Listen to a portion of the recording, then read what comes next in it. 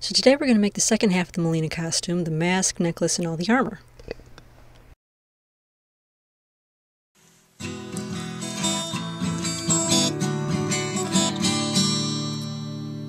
So starting with the mask, something we probably all have a lot of practice at making by now, cut two pieces in this shape, you can either draw it or the pattern is in the patterns vault, and put them right sides together and sew just the front edge.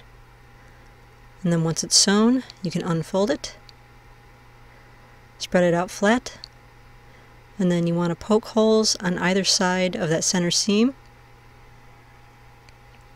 This is just like what we did on the top in the first video, poke the holes and then thread a large-eyed needle with a strip of distressed fabric and use that as thread to make all the little lines so it'll look like these little fake leather lines are holding the mask together even though the sewing seams are what's actually holding it together. So just go all the way down that, just like that, and then you'll just take a piece of elastic and sew the edges to either side of the mask. So I didn't do the neck part, but if you want to, just cut a strip of the Alova, just a rectangle, and put some Velcro on the back. And then, of course, you can do all the holes and the sewing the little fake leather lines down. I didn't do it because I find it uncomfortable.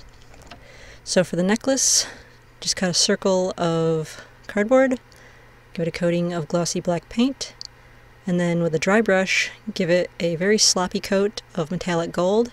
And you want to brush it enough so that some of the black shows through, and that'll give it kind of an aged gold look. So then take a piece of brown distressed fabric, just a thin piece, pull the loop through the center of the circle, and then the loose ends, just run those through that loop to connect it, whoops, to your little gold circle necklace, and then those two loose pieces will just tie around your neck to tie the necklace on. So for the shoulder armor, I cut a few wonky pieces. Um, I didn't include these in the pattern because it'll just depend on how big your shoulders are, so just cut some brown distressed fabric around those, then fold it up around them and sew them in place. And that gives you a nice imitation leather look. As soon as you put this stuff around Pellon, it really looks like leather. So just sew those together at the three lines so that it stays together. And then in the two corners, you'll drill a hole, stick in a gold paper fastener, spread the tails out on the back side. And do that to both corners. And then on either side of that center seam, just like before, poke all the holes, and then use your little leather strip as a piece of thread and thread all the way around those in your nice sewing look.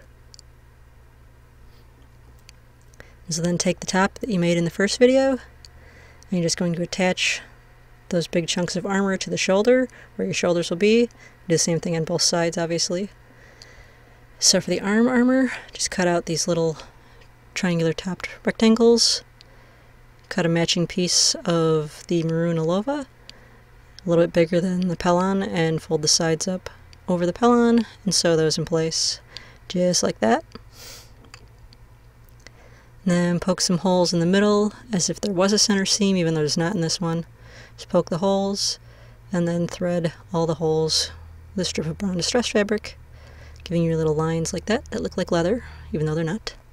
And then just take a piece of elastic and you'll sew the ends of the elastic right in the center on either side and so that way you'll be able to just slide that up over your arm and the elastic will hold that in place.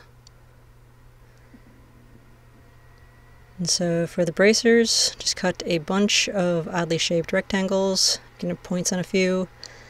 You're going to need nine for each bracer, and they just get stacked on top of one another.